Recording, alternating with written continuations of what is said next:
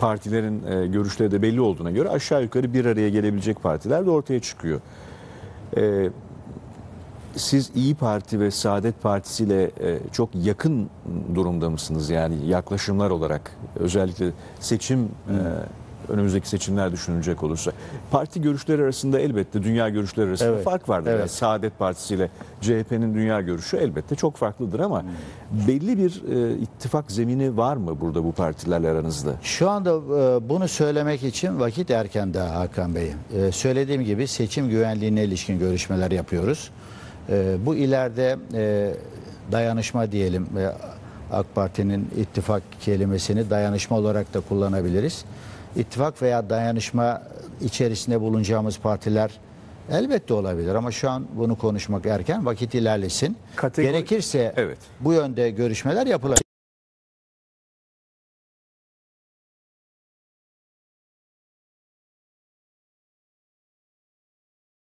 Şöyle. Gerekirse dayan Evet.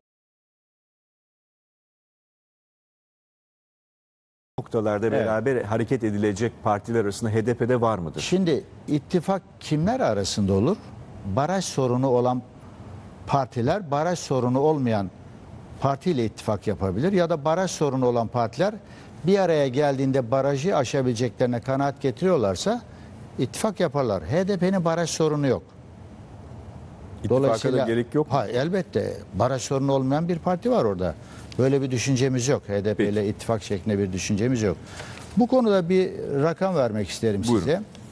İttifaklar nasıl sonuç verir? Ee, bir kere şunu söyledim. AK Parti artı MHP ittifakı Bir de BBP'yi de katalım. Büyük Birlik. Partisi'ni de katalım. Partisi. Ee, Büyük Birlik Partisi'nin tabanı buna hangi tepkiyi verir onu bilemem. Yani Sayın Mustafa Destici ile benim Evet. en son konuşmamda e, bu ittifaka çok yakın olduklarını, bir şekilde içinde yer alabileceklerini ifade Evet, etmişti. evet. Ama evet. son Öyle, öyle gözüküyor. Bilemiyoruz tabii ki. Ee, şimdi şu şöyle rakamlar paylaşıldı kamuoyunda. Bu ittifak gerçekleşirse 1 Kasım 2015'te alınmış olan oylardan hareketle şu kadar milletvekili AK Parti kazanıyor gibi hesaplar yapıldı. Bu tamamen bir varsayım ve varsayım doğru değil. Siz ne diyorsunuz? Neden doğru değil? E, MHP'nin aynı oyu alacağı varsayılıyor. AK Parti'nin de aynı oyu alacağı varsayılıyor. Ben öyle düşünmüyorum. İkisi de iki- 1 Kasım 2015'te aldıkları oyun altında oy alacaktır. Ne kadarlık bir oy bekliyorsunuz bu partiler bakımından? Bir tahmin yapamam şu an. Var mı bir Bir, araştırma? hayır, bir tahmin yapamam. Ee, ittifak olursa ittifak yapan partiler hangi oyu alır şeklinde bir kamuoyu araştırması da henüz yapılmadı. Belki yapılıyor, sonuçları açıklanacaktır. Peki siz bir şey Bir söyleyeceksiniz. şey daha söyleyeyim. Buyurun. Şimdi bakın, e, bu AK Parti, MHP dışındaki partilere bakalım. Saadet Partisi çok önemli bir faktör. Oy sayısı, üye sayısı 225 bin.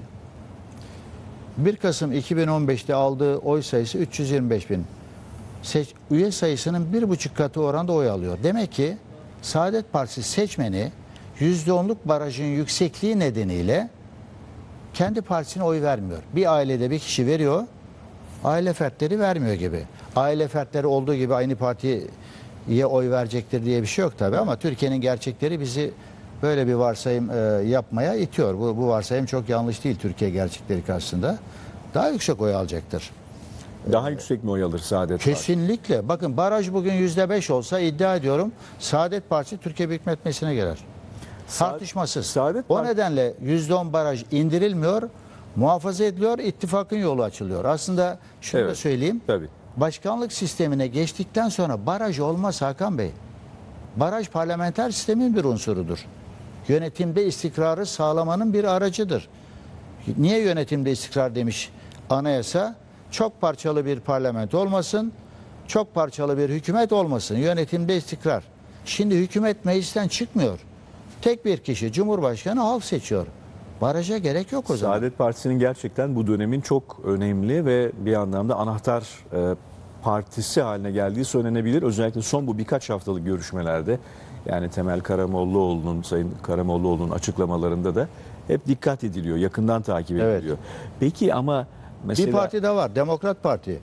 Bakın 713 bin üyesi var. 713 bin. Anavatan e, Doğru Yol Birleşmesi sırasında sorunlar olmuş olabilir üye sayısına ama aldığı oy 69 bin. Üye sayısının onda biri oranda oy alıyor.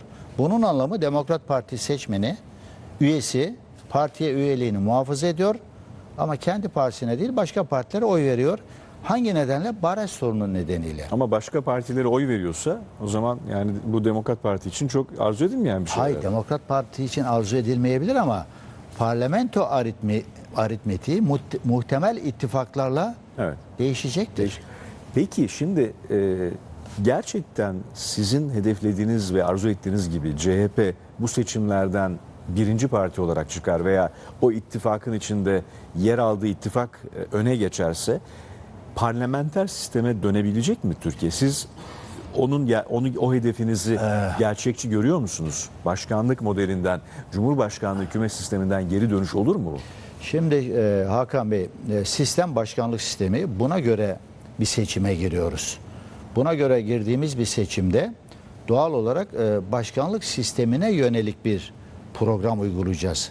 Ama bizim referandum sırasında öngördüğümüz, halka anlattığımız, vaat ettiğimiz parlamenter sistem, parlamenter sisteme dönüş bir ideal olarak duruyor orada.